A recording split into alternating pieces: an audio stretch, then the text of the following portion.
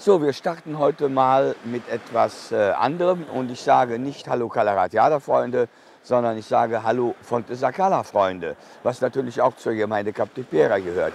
Wir sind heute an diesem Freitag, 12. November, wir haben jetzt Viertel nach zehn äh, hier und wir zeigen euch mal das, was das Meer zurzeit macht.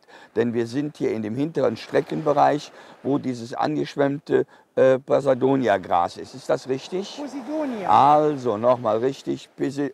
Nochmal Monika bitte. Posidonia. Okay, was das für ein kompliziertes Wort Posidonia-Gras ist.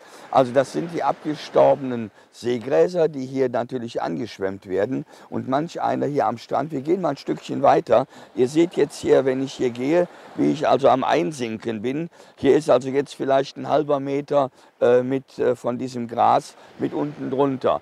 Und hier in dem Streckenbereich, hier hinten, da seht ihr, wie die Anschwemmungen äh, sind. Hier ist ein bisschen Plastikmüll noch mit dazwischen. Ich sinke jetzt hier noch weiterhin etwas ein. Aber wir zeigen euch jetzt mal das, wie es von, wie es von hier ist. Und ihr seht, das Meer, was hier ist, nimmt jetzt, nimmt jetzt keinen Sand mit weg vom Strand, sondern nimmt dieses äh, äh, Gras mit weg. Und äh, das ist also ganz wichtig. Wenn es liegen bleibt im Winter, dann schützt ihr im Endeffekt die Strände damit. Es riecht ein bisschen, wenn es eine längere Zeit hier ist, aber es ist eigentlich ganz schön wichtig für die Natur. So, okay, also, ihr seht, dass das Meer funktioniert. Äh, Wir sind ein bisschen nass geworden, aber das spielt keine Rolle.